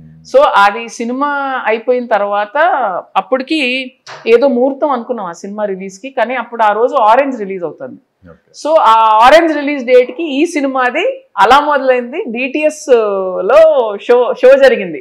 మధుసూదన్ రెడ్డి గారు ప్లే చేశారు. ఉమ్. మా ఫ్యామిలీ ఫ్రెండ్స్ ఒక యాభై అరవై మంది వచ్చి డబ్బులు ఇచ్చి ఉమ్. చూశారు సార్ అలా మొదలైంది. ఆ వచ్చిన వాళ్ళల్లో మెజారిటీకి చాలా బాగా నచ్చింది సినిమా. సో నేనేమనుకున్నానంటే సరే ఓకే నా టేస్ట్ ఉన్న వాళ్ళు కొంతమంది ఉన్నారు. సో ఈ సినిమాకి టోటల్ కాస్ట్ అప్పుడు two or two point two five sir. కోటి రూపాయలు వచ్చేసింది శాటిలైట్లో సో కోటి రూపాయల రికవరీ కోటి రూపాయలు వచ్చేస్తాయి కదా అని నమ్మాను సార్ నేను. అంతే అంతే నిజం ఒట్టే ఒట్టేసి చెప్తున్నాను. ఇది డెఫినెట్గా దీని డబ్బులు వెనక్కి వచ్చేస్తాయి సినిమా అనే నమ్మకంతో ముందుకెళ్ళాం. ఎవడు కొనలా ఎవడు మాకు థియేటర్లు ఇవ్వలా. అక్కడి నుంచి అసలు వివేక్ కుచ్చిబొట్ల గారు మొత్తం చక్రం తిప్పారు సార్. పబ్లిసిటీ కానీ అలా మొదలైంది ఆ కప్స్ మీద పబ్లిసిటీ చేయడం కానీ అన్నీ. ఇంకా అలా మొదలైందిలో సక్సెస్లో ఒక పెద్ద పర్సంటేజ్ ఆఫ్ క్రెడిట్ ఆ సినిమా కంప్లీట్ అయినందుకు పెద్ద percent of credit is of Vivek Kuchibhotla ఆయన లేకపోతే ఆ సినిమా కంప్లీట్ అయ్యే పనే లేదు. అది. ఆయన ఆయనే కన్విన్స్ చేశారు అంటే దాము గారు ఆల్మోస్ట్ ఇంక సెల్ చేద్దాం అన్నట్టు కూర్చున్నారు.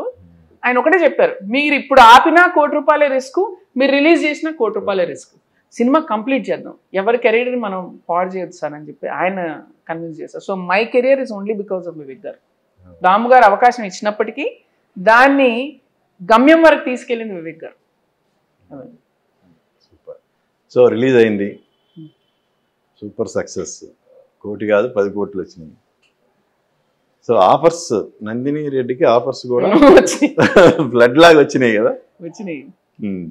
మరి ఎందుకని ఆ ఆఫర్స్ను పట్టుకోలేదు అంటే వచ్చినాయి సార్ ఎక్కడ సంతకం పెట్టాలో ఏమీ తెలియలా. ఫైనల్గా కోనా వెంకట్ గారు తీసుకెళ్ళి బెల్లంకొండ సురేష్ దగ్గర అడ్వాన్స్ తీసుకోమన్నాడు.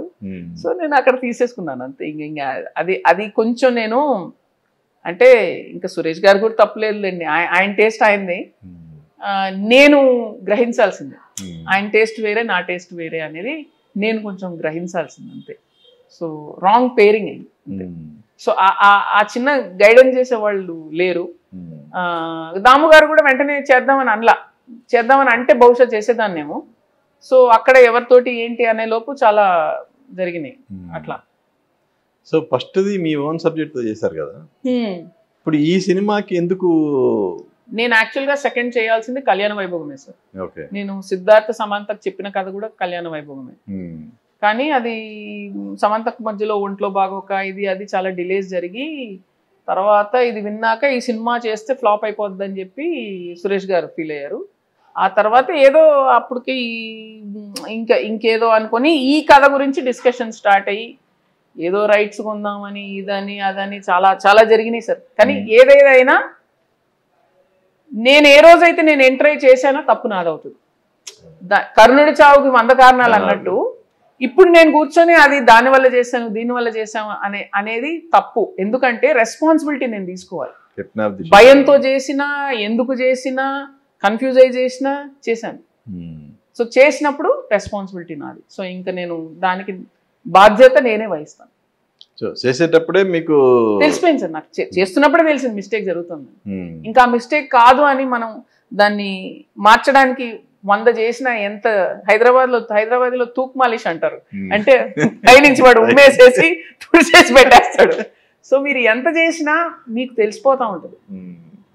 అండ్ ఆ తప్పు మళ్ళీ లైఫ్లో చేయండి మ్మ్. అంటే నేను ఇప్పుడు ఏ సినిమా చేసినా నేను ఇష్టపడే చేస్తాను సార్ అది హిట్ అవ్వచ్చు ఫ్లాప్ అవ్వచ్చు అది వేరు కానీ ఇది నేను ఇష్టపడే చేస్తాను అంతే అంటే ఇండస్ట్రీలో సక్సెస్ వెంట పరుగులు తీసే ఇండస్ట్రీ మంది ఎక్కడైనా అంతే.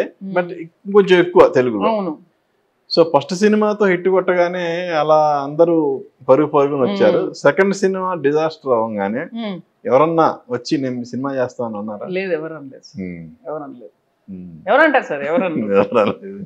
కానీ ఒకటే నమ్మకం ఏంటంటే చాలా టైం పట్టింది నాకు. క్లోజ్ ఫ్రెండ్స్ అందరి దగ్గర ఉన్నారు హెల్ప్ చేశారు కాబట్టి బయటపడ్డాను నేను. కానీ ఒకటి మనం జీరో నుంచి ఒక టెన్ వరకు ఏదో వచ్చినప్పుడు నీకు అది వచ్చు. ఆ రోడ్ ఎక్కడం వచ్చు. సో అది మళ్ళీ జీరోలో ఉన్నాం. మళ్ళీ ఎక్కాలి అంతే. అంతే కదా సార్? తిరుపతి కొండ ఎక్కుతాం. అది కాదు ఎవడది కింద దింపాడు మళ్ళీ. ఒకసారి ఎక్కావుగా? ఏముంది? అలసిపోతే కాసేపు రెస్ట్ తీసుకొని మళ్ళీ ఎక్కడమే. అంతే. సో ఆ తర్వాత మళ్ళా కళ్యాణ వైభోగం ఎలా స్టార్ట్ అయింది మరి? కళ్యాణ వైభవం నేను వెళ్ళి దాము గారిని కలిశాను సార్. ఆయనకు తెలుసు నేను ఇదే కథ చేద్దాం అని అనుకున్నాను అనేది దా- దాము గారికి ఇష్టమైన కథ కళ్యాణ వైభవం ఓకే. ఆయనకి ఇష్టంగానే నాకు సరే ఇది ఖచ్చితంగా చేద్దామని చెప్పాలి అప్పుడు. సో ఇది అయిపోయాక సార్ నేను అడిగాను మరి సార్ ఇది ఏంటి? మరి చేద్దామా అంటే చేద్దాం అన్నారు. సో అది సార్ కళ్యాణ వైభవం సో మళ్ళా నిలబడ్డారు. పోగొట్టుకున్న చోటే నిలబడ్డారు. సో దాంతో నాగశౌర్యతో కూడా మంచి అనుభవం. సో అలా మొదలైనతో నాని దీంతో నాగశౌర్య Hmm. సో మూడు మూడో సినిమా సక్సెస్ అయింది. ఉమ్. మూడో సినిమా తర్వాత కొంచెం గ్యాప్ వచ్చింది కదా బేబీకి? కొంచెం గ్యాప్ అంటే సార్ నేను నా కథలు నేను రాసుకుంటాను. ఆ, ఎక్కువ గ్యాప్ ఏం లేదు సార్. ఒక వన్ ఇయర్ గ్యాప్ అయి ఉంటుంది. ఆ టైంలో బేబీ రావటం మళ్ళీ నేనే రాసుకుంటున్నాను కదా సార్ కథలు. నేను బహుశా పూరి గారు అంత fast గా రాయలేను పైగా చాలా మంది ఏంటంటే ఒక ప్రాజెక్ట్ చేస్తున్నప్పుడే ఇంకో ప్రాజెక్ట్ సెట్ చేసుకుంటారు. అది నేను అప్పుడు చేయలేకపోయాను. ఎందుకంటే నేను సక్సెస్ అవ్వాలి. కళ్యాణ వైభవం సక్సెస్ అయితే మీరు నిలబడితే ఇంకొకటి ఆపర్చునిటీ దొరుకుతుంది. సో మీరు కొంచెం సక్సెస్లో ఉన్నారనుకోండి వెంటనే ఇంకొక సినిమా సెట్ చేసుకోవచ్చు. సో అది అందువల్ల గ్యాప్స్ వస్తున్నాయి. అండ్ ప్లస్ నేనే కథ రాసుకోవడం వలన ఒక సిక్స్ టు సెవెన్ మంత్స్ పడుతుంది. నేను ఒక ఒక ఆల్మోస్ట్ ఒక ఫోర్ టు ఫైవ్ డ్రాఫ్ట్స్ రాసుకొని దాని డైలాగ్ వెర్షన్. సో ఇది almost nine months writing work అవుతుంది. దానివల్ల గ్యాప్ వస్తుంది.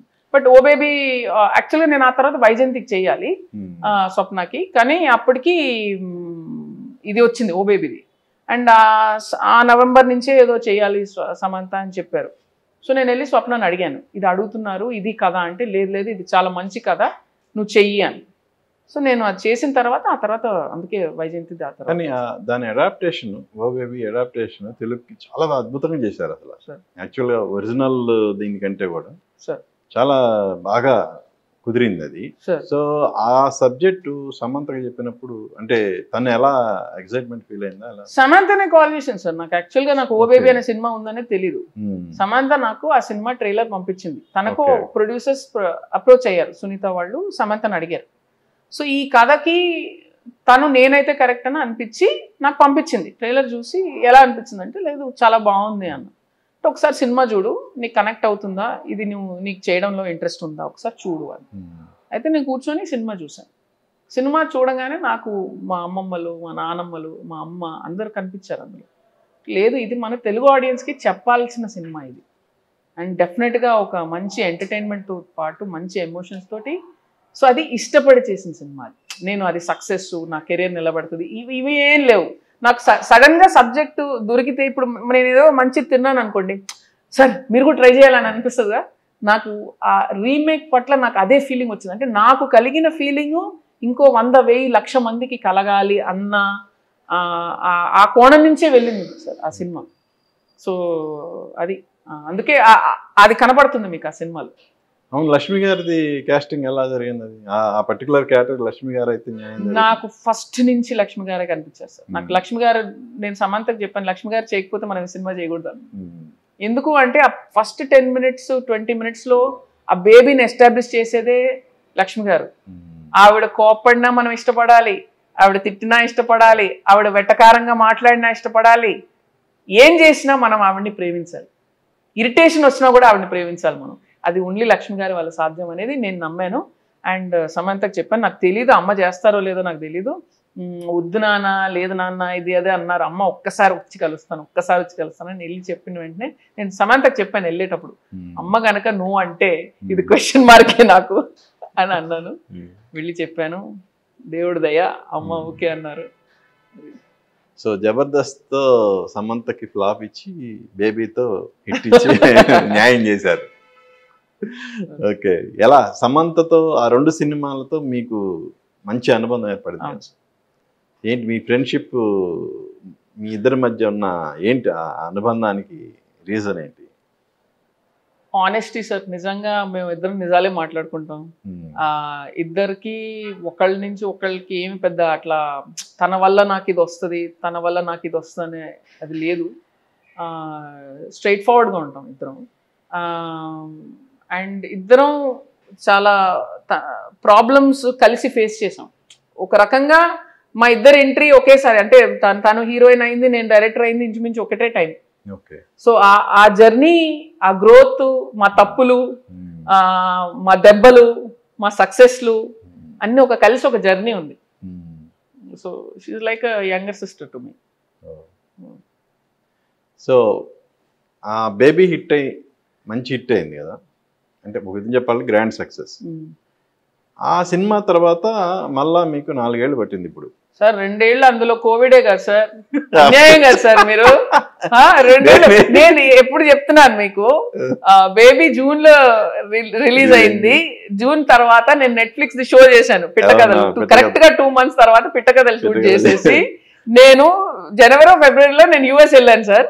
నేను వచ్చేసరికి మార్చ్లో లాక్డౌన్ టూ ఇయర్స్ పోయింది ఫోర్ ఇయర్స్ అయింది ఫోర్ ఇయర్స్ అయిందంటే అంటే ఒక సక్సెస్ఫుల్ డైరెక్టర్ ఏం జనరల్గా ఎలా ఉంటుందంటే. Lockdown okay number of subjects ready చేసుకొని రెండు మూడు కమిట్ అయి ఉంటారు కదా అలా మీరు లేదు? సార్ రెండు మూడు కమిట్మెంట్ అనేది లేదు సార్ నాకు వైజయంతి చేయాలి నెక్స్ట్ ఉమ్.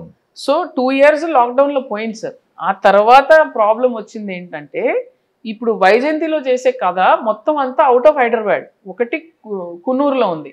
నిల్ సో నిల్గిరీస్ మీకు ఫస్ట్ లాక్డౌన్ అవ్వగానే మీకు ఈ మిగతా ప్లేసెస్ ఓపెన్ ఉన్నా కూడా నిల్గిరీస్ క్లోజ్ చేసేస్తారు. షూటింగ్ పర్మిషన్స్ రావు. నాకు హైదరాబాద్లో షూట్ లేదు. నేను కునూరులో షూట్ చేయాలి.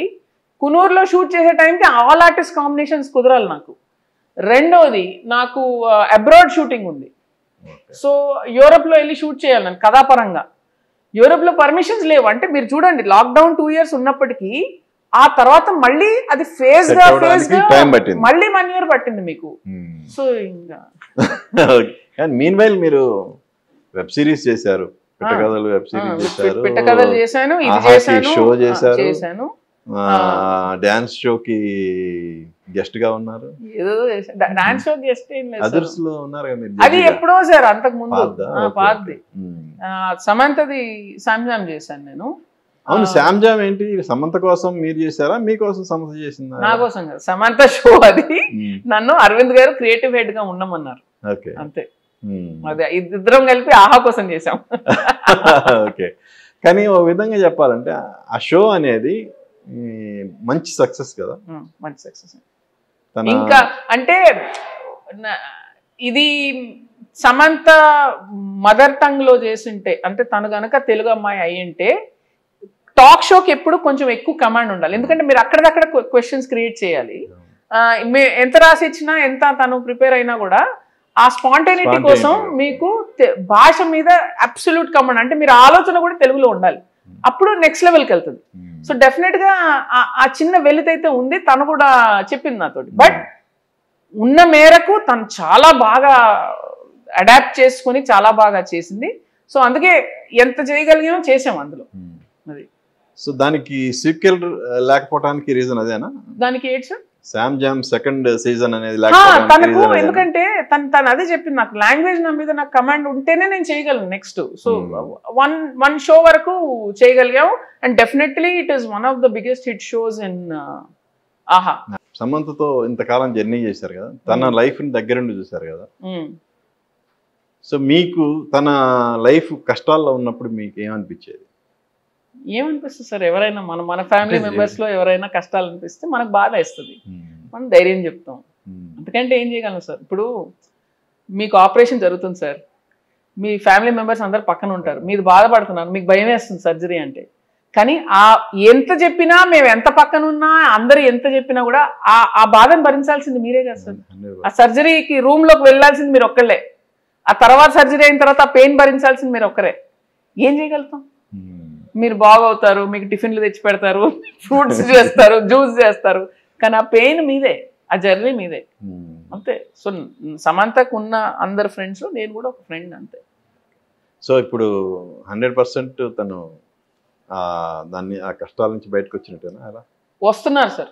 ఆల్రెడీ షూటింగ్ డెఫినెట్గా అది చాలా చాలా చాలా ఛాలెంజింగ్ ఇల్నెస్ కానీ సమంత ఇస్ అ ఫైటర్. నేను తన్ని మౌంటైనియర్ అంటాను Hmm. అంటే ఎప్పుడు ఒక్కొక్క మౌంటైన్ అలా దేవుడు ఇస్తూ ఉంటాడు కానీ కేసి దాటేస్తూ ఉంటది. So she a super strong person నేను నేను జీవితంలో కలిసిన అతి చాలా స్ట్రాంగ్ విమెన్లో మా అమ్మ ఒక్కతైతే Samantha is second person very very strong. అవును మీ సినిమాల్లో క్యారెక్టర్స్ కూడా లేడీస్ క్యారెక్టర్స్ కూడా స్ట్రాంగ్గా ఉంటాయి కదా. ఈవెన్ ఫస్ట్ సినిమా అలా మొదలైన దగ్గర నుంచి తీసుకుంటే అన్ని సినిమాల్లో కూడా ఏ- ఏంటి మీ అంటే మీ వాన్ అసలు మీ మైండ్లో వచ్చేటప్పుడే ఆ క్యారెక్టర్స్ ఇంత స్ట్రాంగ్గా ఉంటాయా లేదంటే స్ట్రాంగ్ సార్ మా అమ్మే స్ట్రాంగ్ అవునా? ఇంకేముంటది Hmm. మనం వాళ్ళు నేర్చుకునేది మా మా అమ్మ దగ్గరే కదా. Hmm. సో నేను పుట్టి పెరిగిందే స్ట్రాంగ్ ఫిగర్స్ మా అమ్మ కానీ మా అమ్మమ్మ కానీ అందరూ. So Hmm. ఇంకా అదే అన్నీ మంచి శకునములే ఉమ్. ఏంటి? ఈ సినిమా ఎందుకు డిలే అయింది? యాక్చువల్గా రిలీజ్ డిసెంబర్లో అనుకున్నారు కదా? కొంత సీజీ వరకు ఇవి Hmm. కొన్ని పెండింగ్ ఉండినాయి సార్. అండ్ మాది ఏదైతే యూరప్కి వెళ్ళాల్సిన షూట్ కూడా మాకు పర్మిషన్ సరిగా దొరకక అది కూడా డిలే అయింది. సో దానివల్ల ఇంకా కొంచెం డిలే అయిపోయింది సినిమా అంతే. Summer summer summer special so మీ బర్త్డేకి టీజర్ వస్తుంది కదా? Teaser with date announce teaser వచ్చింది కదా?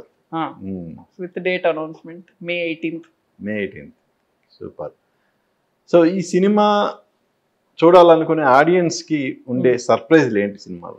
ఆల్రెడీ వాళ్ళు ఒక టీజర్ను ఒక ట్రైలర్ను చూసి వాళ్ళు అది పసిగట్టేస్తారు. Hmm. నేనేమీ చెప్పక్కర్లా. Hmm. ఇది చాలా జెన్యున్గా హార్ట్ ఫెల్ట్గా లెక్కలు లేకుండా తీసిన సినిమా సార్.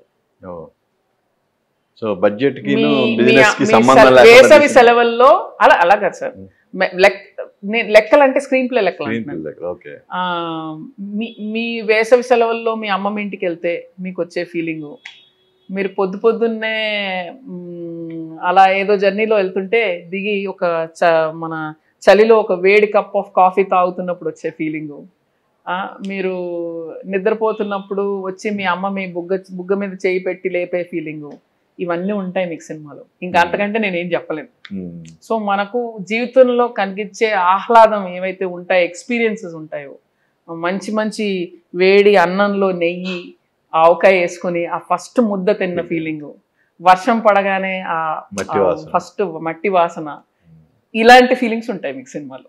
ఇంకా అంతకంటే నేను ఏం చెప్పలేదు గౌతమ్ గారి క్యారెక్టర్ గౌతమ్ గారి క్యారెక్టర్ మీరు చూడండి సస్పెన్స్. చాలా ఉన్నాయి. గౌతమ్ గారు ఉన్నారు షౌకర్ జానక్ గారు ఉన్నారు రాజేంద్ర ప్రసాద్ గారు రాజేంద్ర ప్రసాద్ గారు మాల్విక క్యారెక్టర్ చాలా వెరైటీగా ఉంటుంది అందరి చాలా. సో కళ్యాణ వైభవం తర్వాత మళ్ళా మాళవికతో మీరు ఈ సినిమాలో ఆ, సినిమాకి ఈ సినిమాకి అమ్మాయికి బోల్డ్ అంత వేరియేషన్ ఉంది. ఎందుకంటే అప్పుడు అమ్మాయికి పదిహేడేళ్ళు ఆ సినిమా చేసినప్పుడు. ఇది చేసినప్పుడు ఇరవై నాలుగు. అమ్మాయి she's grown so much as an actor కొత్త మాలవిక కనిపిస్తుంది మీకు ఇందులో. అండ్ సంతోష్ కూడా చాలా చాలా బాగా చేశారు Santosh Sobhan number of movie చేశాడు. పులిహోర కలుపుతున్నాడు. కానీ ఇప్పటి వరకు పాపం అతను కోరుకున్న సక్సెస్ అనేది దరిచారులా. సో ఈ అన్ని మంచి శకునంలో సినిమాతో అతని మంచి శకునం స్టార్ట్ అవుతుందా? హండ్రెడ్ పర్సెంట్ సార్ డెఫినెట్గా అని అని దీనికి షౌకర్ గారి ఆశీస్సులు ఉన్నాయి. Hmm. చెప్పాను నేను మనం షూట్ చేస్తున్నప్పుడు అమ్మ వాడికి ఇంకా సరిపడా సక్సెస్ రాలేదమ్మా మీరు బ్లెస్ చేయండి అంటే ఈ సినిమాతోటి వస్తుంది అని అమ్మ ఆశీర్వదించారు. సో డెఫినెట్గా ఆ, చాలా స్ట్రగుల్ చేశాడండి అబ్బాయి లైఫ్లో ఫాదర్ చాలా ఎర్లీ ఏజ్లో పోవటము ఫైనాన్షియల్ స్ట్రగుల్స్. అంటే చాలా మంది ఇలాంటి సినిమాలు సైన్ చేస్తున్నాడు అలాంటి సినిమాలు సైన్ చేస్తున్నాడు అంటే వాడు ఎప్పుడు ఏ సినిమా ఎలాంటి ప్రాబ్లమ్ సైన్ చేశారు మీకు ఏం తెలుసు. పీకల మీద మనకు ఫైనాన్షియల్ ఇష్యూస్ ఉన్నప్పుడు ఎవరో వచ్చి డబ్బు ఇస్తున్నారు ఒక సినిమా. నువ్వు అప్పుడు డబ్బు చూస్తావా నువ్వు కథ చూస్తావా? ఇలాంటి కొన్ని ఉంటాయి డెఫినెట్గా సో బట్ నేర్చుకున్నాడు. వాడు కూడా చిన్న కుర్రాడు twenty four Santosh twenty five so నేర్చుకున్నాడు చాలా లైఫ్లో బట్ ఎప్పుడో సంతకం పెట్టిన ఇప్పుడు వచ్చేసే సినిమాలు ఏం చేస్తాం? సో అంతే. స్వప్న గారితో ట్వెల్వ్ ఇయర్స్ ముందు సినిమా చేయాలనుకున్నారు. ఒక పన్నెండు సంవత్సరాల తర్వాత సినిమా చేశారు రిలీజ్ అవుతుంది. సో ఆ ఎక్స్పీరియన్స్ ఏంటి? Swapna is my soul sister sir నేను జీవితంలో ఎన్ని సినిమాలు తీస్తానో నాకు తెలియదు కానీ ప్రతి రెండో సినిమా స్వప్నతోనే తీస్తాను. మాది అలాంటి అనుబంధం. ఓకే మా మా సింక్ అలాంటిది మా పిచ్ అలాంటిది మా నా నా ఎక్స్పీరియన్స్ తనతో అలాంటిది. So extraordinary producer extraordinary instinct ఒక విజన్ క్రియేటివిటీ నేను బ్లైండ్గా నమ్మే ప్రొడ్యూసర్ అంటే స్వప్ననే. ఇంకెవరిని అంత నమ్మను నేను. నేను మిగతా ఏ ప్రొడ్యూసర్తోనైనా నేను నా రెమ్యునరేషన్ డిస్కస్ చేస్తాను. స్వప్నతో నేను డిస్కస్ కూడా చేయను. ఎందుకంటే నేను నా గురించి ఎంత ఆలోచిస్తానో స్వప్న దానికంటే ఎక్కువ ఆలోచిస్తుంది నా గురించి. అండ్ సినిమా గురించి ఇంకో పది పది రెట్లు ఆలోచిస్తుంది. సో ఈ సినిమా మీద ఇది ఖర్చు పెడుతున్నాం ఇది చేస్తున్నాం అంటే నాకు భయం వేస్తూ ఉంటుంది. స్వప్న ఇది అవసరమా? ఇప్పుడు ఇంకేదైనా చేద్దాం అంటే నోరు మూసుకో. నేను నందిని రెడ్డి సినిమా తీస్తున్నాను నాకు ఎట్లా తీయాలి నాకు తెలుసు నువ్వు మాట్లాడకని చెప్పేసి నువ్వు వెళ్ళి పని సో ఒక ఎక్స్ట్రాడినరీ పర్సన్ అండి. స్వప్న కానీ ప్రియాంక గారు కానీ ఒక విజన్ ఉన్న ప్రొడ్యూసర్స్ వాళ్ళు. మీరు చూడండి అసలు వాళ్ళ సినిమాలు. ఎప్పుడు కూడా ఇది ఒక సేఫ్ ప్రాజెక్టు ఇది ఒక పెద్ద స్టార్ ఇట్లా అలా ప్యాకేజ్ చేసుకొని చేయాల. కథని నమ్మారు. హను గారిని హను టాలెంట్ని నమ్మారు. హన్ని హను గారి బాక్స్ ఆఫీస్ రికార్డ్ ఇప్పుడు లాస్ట్ హిట్ కొట్టాడు. మనం ఇది ఇది అమ్మేద్దాం. అలా లెక్క చేయలే ఇప్పుడు. దుల్కర్ తోటి మనకి ఇన్ని కోట్ల బిజినెస్ అవుతుంది. అలాగా ఎప్పుడు లెక్క చేయలేదు ఇతను కరెక్ట్ ఈ స్టోరీకి దుల్కర్ కరెక్ట్ ఈ స్టోరీకి హను చెప్పే కథలు మనం ఇలాంటి కథ ఒకటి చెప్పాలి. అతను ఆయన ఒక అద్భుతమైన కథ చెప్పాడు. ఆ కథ నాకు ఎప్పుడో చెప్పారు. సినిమా సీతారామం కంటే ముందు ఒక one and half two year back చెప్పారు నాకు. ఒక అద్భుతమైన కథ చెప్పాడు హనుమాన్. చాలా మంది అడిగేవారు నాకు సీతారామం ఎలా వచ్చింది ఎలా వచ్చిందంటే స్వప్న ఫెంటాస్టిక్ స్టోరీ అని చెప్పింది. సో డెఫినెట్గా ఫెంటాస్టిక్ ఉంటుంది అందులో డౌట్ లేదు. నాకు అంత నమ్మకం నాకు స్వప్న జడ్జ్మెంట్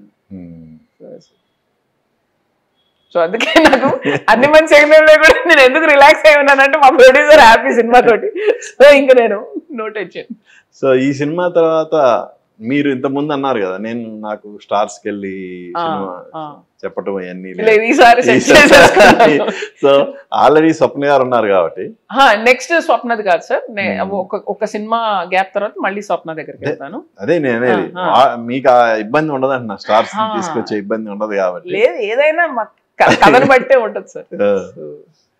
సో నెక్స్ట్ ఏంటి మరి? రామ్ తాళూరి గారితో సినిమా సార్. ఆయన. ప్రొడ్యూసర్ సినిమాకి. సిద్ధు జనల్గడ్డ. హీరో వస్తే hero. మరి సిద్ధు ఏంటి అన్నిట్లో వెళ్ళి పెడతాడని బాగా కామెంట్ ఉంది? నాకు సిద్ధు నాకు సిద్ధు ఆల్మోస్ట్ థర్టీన్ ఇయర్స్ నుంచి తెలుసు. Hmm. అంటే ఇద్దరం ఇంచుమించు అదే టైంకి డెబ్యూ చేసాం. సో ఆ టైం నుంచి మేము టచ్లోనే ఉన్నాం. వైజయంతికి చేసిన గ్యాంగ్ స్టార్స్ వెబ్ సిరీస్లో కూడా సిద్ధు ఉన్నాడు. సో నేను జస్ట్ కాదు ఈ పాప సార్ వీళ్ళు. అసలు వాడు కష్టపడి వాడు కథ వాడే రాసుకోవాలి. వాడే మొత్తం సెట్ చేసుకోవాలి. ఆ తర్వాత వాడు కాలు ఏలు చెయ్యి పెడుతున్నారని అంటారు. ఎంతమంది? మాత్రం నిజం ఇప్పుడు తన కెరీర్ గురించి తనకు కూడా ఉంటది కదండి. మనము ఉమ్. సిద్ధు గాని సెల్ఫ్ మేడ్ హీరోస్ సార్. అవును. రియలీ సెల్ఫ్ మేడ్ హీరోస్ వాళ్ళు రాసుకొని వాళ్ళ కెరియర్కి వాళ్ళే స్క్రిప్ట్లు రాసుకున్నారు. సో ఇంకా ఎవరు మాట్లాడకూడదు. హండ్రెడ్ పర్సెంట్ తప్పు మాట్లాడటం. మనం మనం అనుకోవడం కాదు కానీ. వాళ్ళ కెరీర్కి ఆ. వాళ్ళకి ముఖ్యమే కదా. అంతే కదా. మరి డీజే టిల్లు ప్రతి ఒక్క ఫ్రేమ్ వాడు వాడు వాడు చేసుకుని నాకు తెలుసు కదా వాడు ప్రతి సినిమా చేస్తున్నప్పుడు నాకు ఫోన్ చేసి చెప్తాడు అక్క ఇది చేస్తున్నా ఇది చేస్తున్నా ఇది చేస్తున్నా అని చెప్పేవాడు. తప్పదు. మరి అంత ఫ్రెండ్షిప్ ఉన్న నానితో మళ్ళీ ఎందుకు కాంబినేషన్ సెట్ కాలేదు? సరిపడా కథ రావాలి సార్ నానితో చేయడానికి. అండ్ నాని అద్భుతమైన కథలు చేస్తున్నాడు ఇప్పుడు. సో నాకు ఎంజాయ్ చేస్తున్నాను. నాని చూడటం నాని సక్సెస్ చూడటం ఎంజాయ్ చేస్తున్నాను. సో మళ్ళీ దొరికినప్పుడు చేస్తాం. దసరా ఎంత మంచి సినిమా. అవును. సరే ఇవన్నీ ఓకే. ఇంకో పర్సనల్ క్వశ్చన్. నందిని రెడ్డి. ఎందుకు పెళ్ళి చేసుకోలేదు? ఎందుకు చేసుకోవాలి? ఇప్పుడు వచ్చిన ఇబ్బంది ఏంటి చెప్పండి. అంటే జనరల్ అంటే సొసైటీలో అందరికి అదే ఇప్పుడు నిన్న ఎప్పుడో ఏదో ఏదో వీడియో చూశాను. ఆ నలుగురు మాట్లాడుకుంటారని చెప్పి ఒక నలుగురు అబ్బాయిలు నుంచొని ఫ్రేమ్లో ఆ, అందరూ అంటా ఉంటారు కదా హైదరాబాద్లో చెప్పారు. అందరూ అంటా ఉంటారు కదా ఆ నలుగురు అనుకుంటారు ఆ నలుగురు అంటారు ఆ నలుగురు మేమే మేమేం అనుకోవట్లేదు మీకు ఇష్టం వచ్చింది చేసుకో అని చెప్పి వీడియో పెట్టాడు. సూపర్.